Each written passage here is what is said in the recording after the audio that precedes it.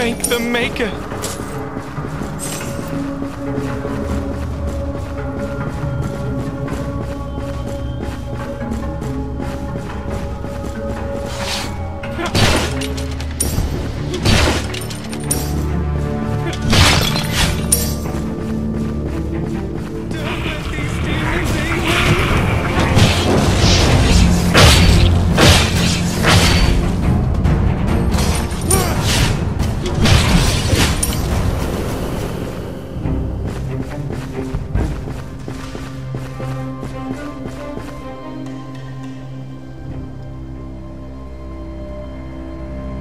Now where has this foul beast gone?